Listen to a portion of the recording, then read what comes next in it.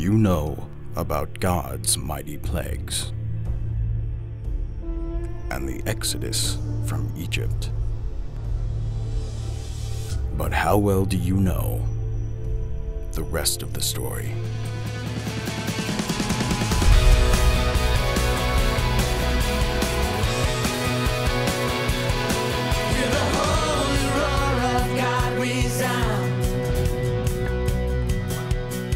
Watch the waters part before us now. Come and see what he has done for us. Tell the world of his great love. Our God is a God who saves. My favorite one was singing. I really like music because I like to dance. Music rock. I really just like everything. It's just been a blast.